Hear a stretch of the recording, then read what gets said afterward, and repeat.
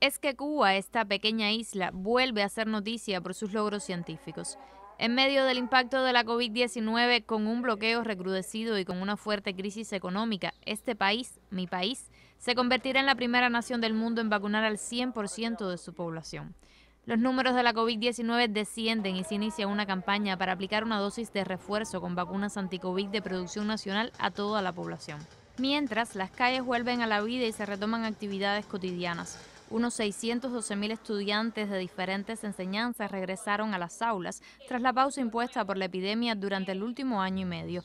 Sin embargo, cuando comienza una reapertura y se abre la isla a la nueva normalidad, permanecemos al acecho de quienes pretenden desestabilizar el sistema social cubano. Provocaciones, más un duro bloqueo que persiste bajo la administración de Joe Biden, también forman parte del escenario que se vive en esta Cuba. El objetivo no ha cambiado, asfixiar la economía cubana y provocar sufrimientos a su población para que se revuelva en contra del gobierno revolucionario y de paso pagar a un grupito que no llena un archipiélago para promover un supuesto cambio social en la isla.